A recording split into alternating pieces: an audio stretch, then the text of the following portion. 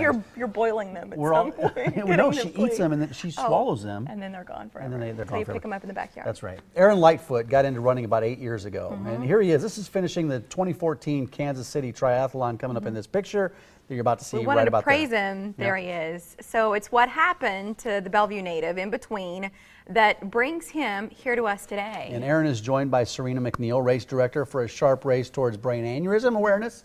Aaron, uh, good to see you. Sarina, Yeah, good to and see welcome of you. back. Thank you. Thank you. Aaron, take us back. I think this was, it was it this year in January, January 29th that this yeah, happened? the end of January, and I was just out on a morning run like I normally do. And on my way home, I just ended up having this intense pain in the top of my head, and I knew it wasn't a normal headache. And I was able to eventually get get help and uh, get to the hospital. And Were you running alone? Yes, I was running alone. Um, I luckily I ended up being in a a neighborhood in a nearby office building was where I was able to get help and uh, let somebody know I was in trouble. The pain Mm-hmm. was that severe that you went and got help, and then fortunately somebody was Yeah. there to help get you to the hospital. And you survived. Yep. You survived all of this.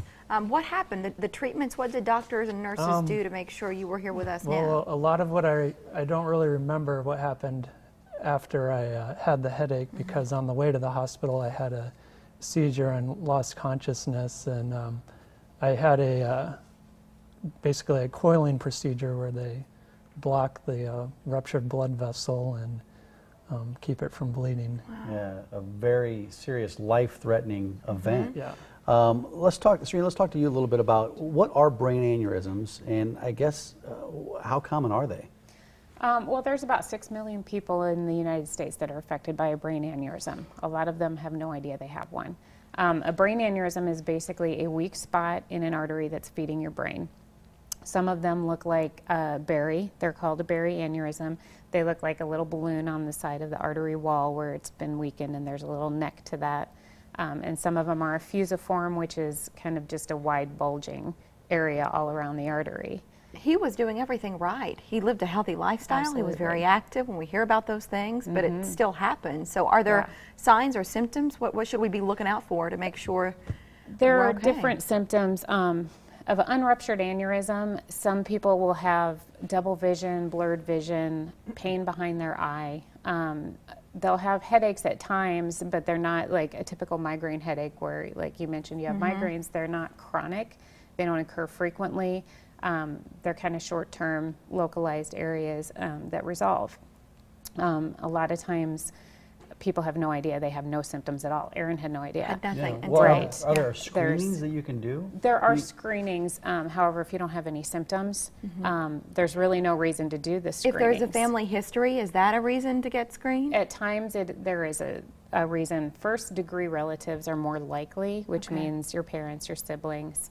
Um, they're more likely to have an aneurysm if there's a family history Mm-hmm. already, but it's not one of those type of screenings that's covered by insurance. So, um, really, if you, a lot of the ones that we find that have not ruptured are found by default because they were being screened for some other else. medical Aaron was- problem. yeah, Aaron was very fortunate that there, there he received treatment right away. Mm-hmm. Are there uh, treatment options out there, f- and how common, how how often do these treatments work?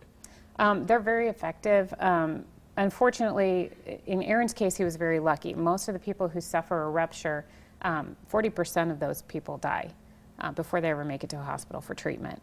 Um, of those people, two thirds of them will recover with deficits, and there's a couple different um, options they have. One is a coiling, which is what Aaron had, and that's a, a less invasive approach.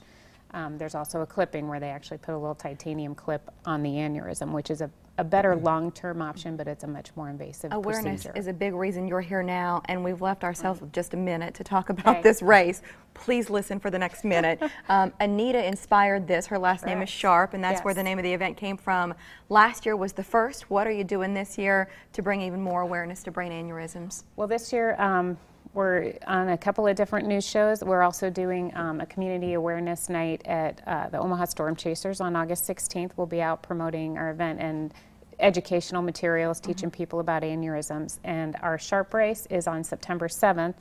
Um, that was held last year. It was our first annual year. We had over 400 participants.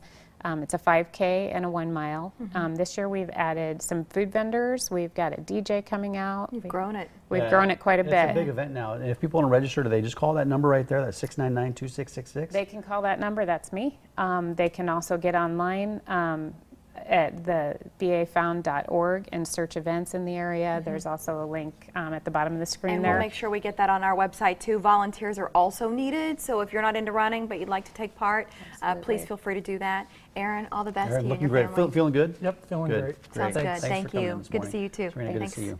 All right, thank